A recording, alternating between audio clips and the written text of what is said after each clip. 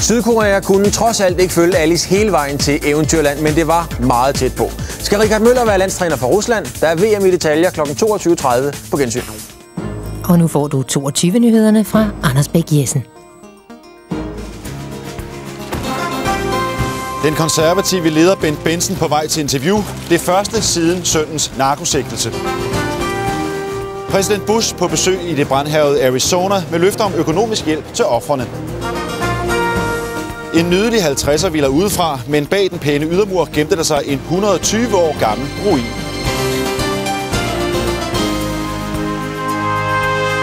Her er tirsdagens sene nyheder. God aften. Vicestatsminister Ben Bent Benson har lige givet det første interview, efter hans søn blev anholdt med betydelige mængder amfetamin. Og i interviewet holdt den konservative leder fast på, at der skal sættes hårdt ind over for unge kriminelle. Klokken 20.30 ankommer Bent Benson med sin kone til TV-byen. Der er en time til, at han skal interviews til DR's profilen. Nej, jeg vil godt sige, at vi har været igennem den sværeste uge i vores liv. Jeg har valgt at stå frem for pressen nu i dag og sige det, der skal siges en gang for alle. Og så håber jeg på, at min familie kan få fred. Spørgsmålene, han vil blive mødt med i studiet, er affødt af Bensens privatliv. Hans 22-årige søn blev i torsdags fængslet og sigtet for at lægge ind med en større mængde amfetamin. Det her det er en tragedie i min familie. Øh, vi skal nu sørge for at finde alle ressourcer i min familie og sørge for at os, der står derude, min kone, mine to piger, at øh, vi ikke brækker ned, fordi at det, det er jo ikke til gavn for den dreng, der skal igennem det her. Ben Benson fortalte i en pressemeddelelse selv offentligheden om søndens anholdelse. For en leder, hvis parti kræver hård kurs mod unge kriminelle, er sagen ekstra slem. Jeg er mere stålsat end nogensinde mm. på at blive som politisk leder. Jeg har et moralsk ansvar. Jeg sidder i en regering. Vi har mulighederne for at ændre på de her forhold. Torsdag genoptager Ben Benson sit politiske arbejde. Sønnen er fængslet indtil 11. juli. Fokus i aften på politikeren og privatmennesket, og ikke mindst blandingen af de to. Ben Benson selv lagde ikke skjul på, at han mener, at sagen om sønnen først og fremmest er en privat sag. Jeg mener egentlig, at det er en privat sag. Øh, der er jo mange kommentatorer, der har gidsnet om, hvad det her er. Det her, det er en tragedie i min familie. Øh, vi skal nu sørge for at finde alle ressourcer i min familie og sørge for os, der står derude, min kone, mine to piger, at øh, vi ikke brækker ned, fordi at det, det er jo ikke til gavn for den dreng, der skal igennem det her. Jeg har nok ikke tænkt så meget på politik i de her døgn. Jeg tror, når sådan en personlig tragedie indtræffer i en familie, så, så det, det drejer sig om først, det er, det er familien. Og så må det politiske jo komme bagefter. Og så god aften til Henrik Kvartrup, tidligere spindoktor for Anders Fogh Rasmussen, og nu i gang med at skrive en biografi om samme Anders Fogh Rasmussen. Lad mig først lige spørge dig, hvis du var Ben Bensens spindoktor lige nu, ville der så være ros eller ris efter hans tv-optræden i aften? Øh, der ville være ros. Jeg vil gerne sige, at jeg synes, det var en meget stærk og en meget flot optræden fra Ben Bensens side i aften. Og nu siger jeg noget, som kan lyde lidt kynisk, men som ikke er ment sådan. Der er ikke nogen tvivl om, at det her var noget, der virkelig tog kejler ude blandt almindelige danskere. Og det er klart, at det har stor betydning for, for Ben Bensen og for hans rådgiver. Nu hørte vi Ben Benson selv sige det, og mange af hans politiske kolleger sagde det samme i sidste uge, da sønnen blev anholdt. Det her er en privat sag. Alligevel ser vi så Ben Benson optræde på landsdækkende tv i 25 minutter i aften. Hvor rimeligt er det, at han føler sig foranledet til det, når det er en privat sag? Jo, men altså, det er en indlysende relevant historie, at øh, sønnen til landets visestatsminister, til formanden for Lov- og Ordenspartiet, nu sidder fængslet i en stor narkosag. Det er øh, i offentlighedens interesse, og det forhold, at Ben Benson i aften sidder i fjernsynet, og han også tidligere har udsendt en pressemeddelelse, men det belyser meget godt, at Ben Benson også godt er klar over, at det her har offentlighedens interesse, og meget fornuftigt har han så valgt, kan man sige, at håndtere sagen forfra. Jeg har jo selv ind på, at øh, det er lidt, ligesom, lidt, lidt ligesom med ugebladene. Hvis man, hvis man inviterer dem til brylluppet, så inviterer dem også til, til skilsmissen. Er det det, der har ramt ham nu? Jamen, jeg er meget enig med Ben Benson. Øhm, altså, man må jo hele tiden huske på, at det, det er politikerne, der et langt stykke hen ad vejen har åbnet ballet her. Det er politikerne, der har inviteret os med i sommerhus, med hjem i køkkenet på løbetur, har fortæller os, hvad, hvad de ønsker sig til jul i julegave. Så, så når det, når det handler om det, så er det private okay. Så er det klart, at så har det private også en, en, en relevans i det øjeblik, det bliver af mere kritisk art, som, som tilfældet er nu. Men, men omvendt, i bogen her om folketingsvalget i fjor, skriver du, at interessen for politikeren som person var påfaldende fraværende i valgkampen. Men man kan vel også spørge, hvor meget skal vi snage? Vi skal ikke snage, men, men omvendt giver det ikke nogen mening at sondre mellem politikerne som politikere og politikerne som privatpersoner. Man må jo forsigtigt gå ud fra, at der er tale om, om én størrelse. Og, og politik i dag handler meget om, om troværdighed, om personlig integritet. Og netop derfor er det også relevant at se på politikerne som andet end bare politikere, men også som, som privatmennesker. Der udkom jo for nylig en, en stor biografi om, om Jens Otto Grav. En biografi, der meget kontant beskæftiger sig med, med den tidligere statsministers store forbrug af, af kvinder. Det er jo muligvis historisk interessant, men hvor relevant offentlig viden ville det have været, mens Krav var med magten? Jamen, jeg synes, at det, det bidrager med en interessant facet øh, i, i, i viden om, om Jens Otto Krav. Og jeg synes, det er påfaldende, at vi må gerne vide alt om politikerne, når de enten er døde, som, som Krav nu er, eller når de ligger nede i skidtet, som, som Peter Brikstofte nu gør. Jamen, hvorfor altså, ville det rave mig som vælger, at øh, Jens Otto Krav havde mange kvinder? Jeg synes, det, det er relevant at se på politikerne som hele mennesker, og ikke bare som politikere. Så du mener, at vi kan gå langt ind i privatsfæren? Vi kan gå et stykke ind i privatsfæren. Det er klart, der er en grænse. Du skriver på den her Anders Fogh Rasmussen-biografi. Jeg ved godt, du ikke vil kommentere indholdet, før den er ude, men derfor kan du vel godt forklare mig, hvor går din grænse mellem, mellem relevant viden og, og det helt private, det der kan kaldes snæring? Jamen, du har sagt det bedre, end jeg kunne have gjort det. Det vil jeg selvfølgelig ikke sige noget om, før den bog ligger der. Okay, tak skal du have, Henrik Kvartrup. I USA kan brandfolkene nu melde om fremgang i kampen mod skovbranden i Arizona. Samtidig lovede præsident Bush økonomisk hjælp til offrene for branden, da han her til aften besøgte katastrofeområdet. Det brænder stadig, men ellers skulle brandfolkene i dag berolige præsidenten med, at det går den rigtige vej. Blandt andet så har ilden ikke opslugt nogen boliger inden for de seneste døgn.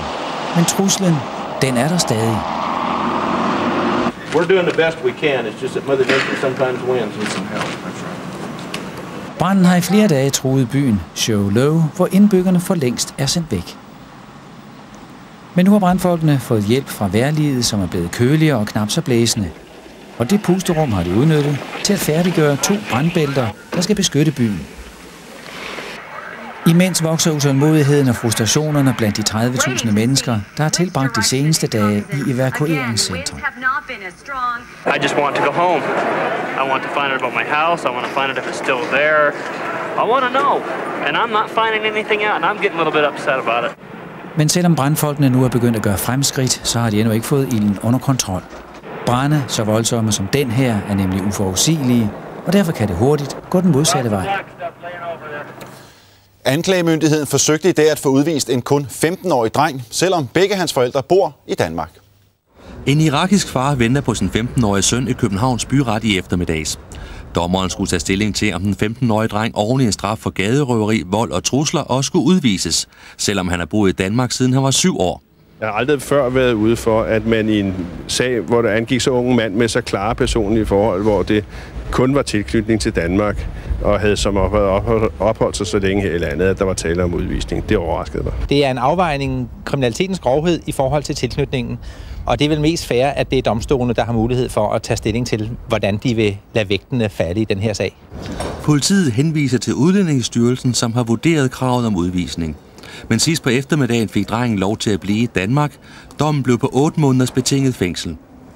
Jeg tror, det er på en eller anden måde, at den her kørt lidt øh, af sporet fra starten, sådan at det er blevet en varm kartoffel, som til sidst er endt hos øh, anklagemyndigheden forstået på den måde, at anklagemyndigheden siger, jamen hvis udlændingsstyrelsen ikke udtaler sig imod det, så er vi også nødt til at overlade det til, anklage, øh, undskyld, til, til retten. Det er helt bevidst, at vi nedlægger den påstand, og det er helt bevidst, at vi forelægger den for udlændingsstyrelsen. Så en fodfejl, det er det ikke. Det var i dag ikke muligt at få en kommentar fra Udlændingsstyrelsen. Købet af et ældre hus er blevet en slem forskrækkelse for et ægtepar fra Gravballe. Huset har nemlig vist sig at være et elgammelt sminket lig, og forsikringen dækker ikke. Det her er familien Thames nye hus i Gravballe. Og det herinde, det bliver så vores soveværelse, forhåbentlig. Da familien købte huset, sagde både BBR-meddelelse og alle papirer, at huset var fra 1956. Men i virkeligheden er huset fra omkring 1890 og har hverken sokkel eller fundament, der er bare bygget en ny mur uden på det gamle hus. I forbindelse så med, at vi skulle renovere, så var der sådan nogle cellotex-plader på, som der er meget brandfarlige. Og da jeg piller dem af, så møder jeg sådan et vindue her, som man bare har muret inde. Og da der er en skalmur udvendigt, så har man jo ikke rigtig nogen mulighed for at, at se den. Ejerskifteforsikringen, den dækker ikke. Det er, når hensiges til ejendommens er der ikke en fysisk skade i forsikringens forstand. Fordi det så er ganske normalt, at murværk ser sådan ud, når man henser til ejendommens alder og tidens tand. Ingen eksperter opdagede nogensinde, at huset var næsten 70 år ældre, end de officielle papirer sagde. Øh, vi har haft en ejendomsmaler, et professionelt ejendomsfirma med inde i, i billedet. Det er dem, vi har, der har formidlet handlen, og vi har haft advokat med inde i billedet til at gennemgå de juridiske papirer på, at, at tingene skulle være, som de var. Vi har sagt ja til tilstandsrapporten, vi har sagt ja til ejerskifteforsikring, og så alligevel så er vi havnet i den her situation. Faktisk ved familien slet ikke, hvor erstatningskravet på flere hundrede tusind skal rettes hen. Man bliver vred på, på nogen, men, men hvem er de nogen? Danske investorer har i løbet af halvandet år tabt ikke mindre end 326 milliarder kroner. Og det tab har også ramt småsparerne. Det er aktiekurserne, den er gal med. De er rastlet ned, og det går også ud over småsparere som familien her, der følger udviklingen nøje. Jeg har en bog, og der fører jeg hver dag. Skriver kurserne op i om morgenen, det er faktisk noget af det første, vi gør, sammen med kaffedrikkeriet. Og det ser ikke for godt ud. Vi kan starte herop. Den 17. i 5. Det er ikke så forfærdeligt længe siden. Der var et minus på... Det var ikke meget. 794 kroner. Dagen efter, så var der et minus på 10.630. Så var der et minus på 37.140. Har du et godt råd til pensionsopsparere, som er bekymrede? Ja, jeg vil sige, at man skal bevare roen, have lidt is i maven, og så vente og se, hvad der sker nu. Men jeg kan godt forstå, at man er bekymret. De danske aktier har mistet ca. 33 procent af deres værdi, og det er ikke sikkert, at bunden er nået endnu. Jeg tror, at vi vil finde en eller anden form for stabilitet i aktiemarkedet, men selvfølgelig meget afhængig også af, hvad der sker på den politiske front. Altså her tænker jeg på Mellemøsten, som gør folk meget urolige. Men jeg tror, vi vil finde en eller anden form for stabilitet, og så vil vi på sigt bevæge os lidt opad, men vi kan stadigvæk se meget bevægelige aktiekurser. Har vi set bunden? Det er meget, meget svært at sige. Det eneste, du kan sige med sikkerhed nu, det er, at der er usikkerhed, og at den usikkerhed vil bestå en periode endnu. Øh, vi skal hen til efteråret, hvor vi har set øh, nogle flere signaler om, hvordan økonomien har det, og mærke, hvordan investorerne kommer ind i markedet efter sommerferien. Her sidst på dagen rettede de danske kurser sig markant efter flere dages nedtur. Præsident Bush melding i går om, at Yasser Arafat står i vejen for fred i Mellemøsten, falder ikke i god jord hos FN's generalsekretær. Kofi Annan frygter, at et farvel til Arafat kan bane vejen for mere yderliggående kræfter. The time for the elections is not optimal. You could find yourself in a situation that the radicals are the ones who get elected.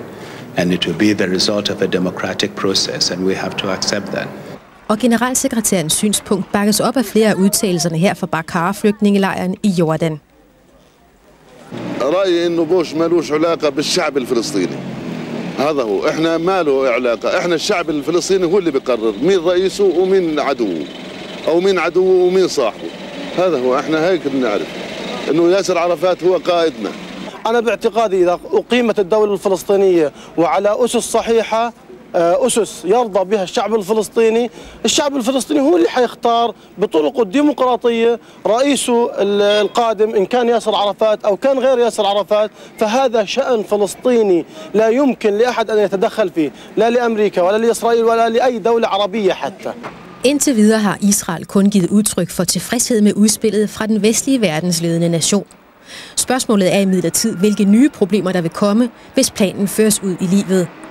Og der er mere om det amerikanske mellemøstudspil på vores hjemmeside. Her kan de se præsident Bush tale i sin helhed. Vi opsummerer hovedpunkterne og bringer flere reaktioner. Adressen er nyhederne tv2.dk. Når op mod 65.000 i den kommende weekend tager til Roskilde Festival, er det ikke uden risiko. For hvis statistikken holder, bliver adskillige af dem ramt af narkopsykoser, og det får en overlæge til at slå alarm. Endnu under alt fred og ro, mens festivalpladsen i Roskilde venter på gæsterne til fire dages musik, druk og for nogle stoffer som ecstasy og svampe. Stofferne er hvert år skyld i, at 10-15 festivalgæster må indlægges akut med narkopsykose på det psykiatriske hospital Fjorden i Roskilde. Det var øh, svampepsykoser, og øh, det er udreagerende adfærd, og det er noget med, de ser syner, øh, hører stemmer og, og en angst, og det er ikke bare en almindelig angst, sådan som vi forstår, hvad angst er. Altså det er noget med øh, bange for at gå i stykker, i opløsning, øh, ramt af stråler osv. Jens har prøvet at få en psykose på grund af stoffer i forbindelse med musik. Og så lige pludselig på et sekund, så sagde det klik. Og så fik jeg nærmest sådan nogle stikkende smerter i hovedet, som om jeg blev stukket i hovedet med en kniv eller sådan et eller andet, og begyndte at brække mig. For at opfange det vil der være 30 læger og lægestuderende ude på selve festivalpladsen. Deres opgave er at øh, identificere eller holde øje øh, med vores gæster, se om der er nogen, der har behov for assistance. Øh, det er noget, vi har lavet i samarbejde med politiet og har haft igennem mange år. Øh, specielt naturligvis med henblik på, på de øh, narkotiske øh, ting, som, øh, som er i, i, i forbindelse med teknomusik. Psykotiske festivalgæster kan først udskrives, når de ikke længere er farlige for sig selv. Det kan tage op til en uge. Det er helt oplagt, at de skal lade være med at lade sig friste af, der kommer en eller anden flink forbi og siger, nu skal du se, nu skal du prøve noget sjovt. Øh, der kan være noget i. Øh, noget, man ikke er vant til at tage, det skal man holde sig fra. Tror du selv, du har taget en sådan advarsel alvorligt? Nej. Men øh, jeg var nok også en af de mennesker, som, var, som skal prøve det på min egen krop, før det virker. Alt for mange danskere bliver udsat for lægefejl. Hvert år bliver 50.000 danskere fejlbehandlet på sygehusene, og det får nu Lægeforeningen til at foreslå en anonym indberetning. Altså en mulighed for, at læger kan indrømme fejl, uden at risikere at blive straffet. Hvis det er sådan, at der er ting, der ikke bliver indrapporteret, fordi øh, man er bange for sin stilling eller bange for sin karriere, ja, så er det jo altså ikke meningen, at den øh, karrierebevidsthed eller den frygt for repressalier skal forhindre forbedringer af sikkerheden. Jeg er meget glad ved, at lægerne nu sender helt andre signaler end for 10 år siden, hvor vi jo alle sammen havde det der billede af de ufejlbarlige hvide kitler, der hang sammen som ærtehalm. Tyskerne har igen spillet sig til finalen ved et fodbold-VM. I eftermiddagens semifinale besejrede de Sydkorea. Jubel overalt i Tyskland, der med dette ene mål besejrer Sydkorea. Wie sagt man so schön, Fußball ist, wenn 22 Leute spielen und Deutschland gewinnt. Das ist Fußball. Og mens tyskerne var glade, var de stolte, sydkoreanerne i kulturcentret på Amager. Jeg synes, at Tyskland er lidt mere teknisk, men jeg tror, vi kunne vinde alligevel. Om tyskerne skal møde Brasilien eller Tyrkiet i finalen, afgøres i morgen. I Rusland har de værste oversvømmelser i årtier kostet mindst 68 mennesker livet. Hårdest ramt er Kaukasus, hvor ikke kun kreaturerne mangler rent drikkevand. Udover at drive folk fra hus og hjem, har oversvømmelserne sat rensningsanlæg og kloaksystemer ud af funktion. 35.000 russiske soldater er blevet sendt til området for at hjælpe med oprydningsarbejdet. I Chamonix i Frankrig demonstrerede utilfredse borgere i dag mod, at lastbiler igen må bruge Mont Blanc-tunnelen. Den blev lukket i 1999 efter en ulykke, hvor en lastbil brød i brand. 39 mennesker mistede livet. Derfor er de lokale imod tung trafik i den tosporede tunnel. Og så slutter vi i Milano, hvor der de næste fire dage er så rigeligt med øjegodt til damerne. Der er nemlig modeuge her i den italienske kulturhovedstad Milano. Tøjet her er fra forårs- og sommerkollektionen 2003. At nogle af herremodellernes brystkasser glinser, skyldes ikke det hårde fysiske arbejde på catwalken. Flere modeskabere sprayer vand på sine mandlige modeller, inden de bliver sendt på scenen. Vandet giver angiveligt det rette, svedige look. Til sidst, tirsdagens overskrifter. Den konservative leder, Ben Benson, har lige givet det første interview siden søndens narkosigtelse. I DR's profilen sagde han, at sagen ikke vil få konsekvenser for hans fortsatte virke i politik. I USA besøgte præsident Bush her til aften Arizona og lovede hjælp til offrene for de voldsomme skovbrænde der. Trods anklagemyndighedens krav om udvisning for en 15-årig irakisk dreng lov til at blive i Danmark. Han slap med 8 måneders betinget fængsel for trusler og røveri. Nu er det tid til nyt fra regionerne. Tak for nu.